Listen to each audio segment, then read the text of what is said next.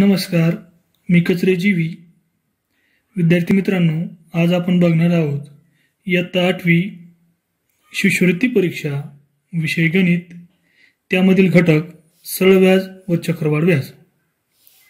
आपल्याला या ठिकाणी उदाहरण आहे. एका रकमेचे दसादसे पाच टक्के दराने किती वर्षात दामदुप्पट होतील? असा प्रश्न आपल्याला विचारलेला आहे. त्या ठिकाणी पर्याय दिलेले आहेत. उत्तराचे चार. पहिला पर्याय आहे बारा वर्ष. दुसरा आहे दहा वर्ष. तिसरा आहे पंधरा वर्ष. आणि चौथा पर्याय आहे वीस वर्ष. आता आपण हे उदाहरण सोडूया. समजा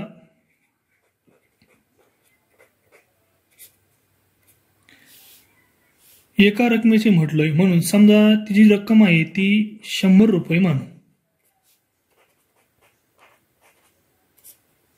दाम दुप्पट दाम दुप्पट म्हणजे तिचं व्याज पण किती होणार आहे? शंभर रुपये. म्हणून व्याज शंभर रुपये होईल. तर बघा मुद्दल आहे शंभर रुपये आणि तिचं व्याज पण किती होतं शंभर रुपये.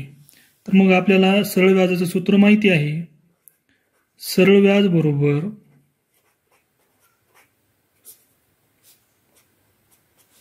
म गुणिले द गुणिले क छेद शंभर.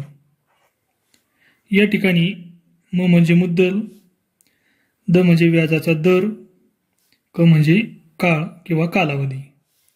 तर मग आपलं सरळ व्याज आहे शंभर रुपये मुद्दल पण आहे शंभर रुपये व्याजाचा दर आहे पाच आणि आपल्याला कालावधी या ठिकाणी काढायचा आहे.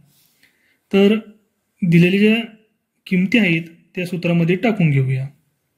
मग सरळ व्याज शंभर बरोबर मुद्दल शंभर गुणिले व्याजाचा दर पाच टक्के म्हणजेच पाच गुणिले क कालावधी छेद शंभर.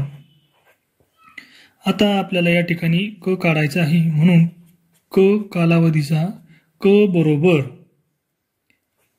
शंभर गुणिले शंभर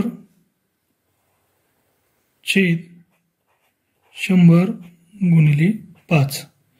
तर बघा या ठिकाणी शंभरने शंभरला भाग द्यायचा आहे. शंभर एक शंभर शंभर एक शंभर.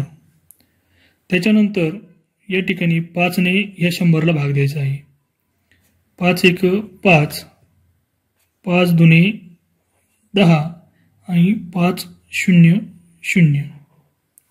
म्हणजेच क निघालेला आहे कालावधी. क बरोबर वीस वर्ष. तर आपल्याला या ठिकाणी पर्याय क्रमांक चार हे उत्तर बरोबर आहे.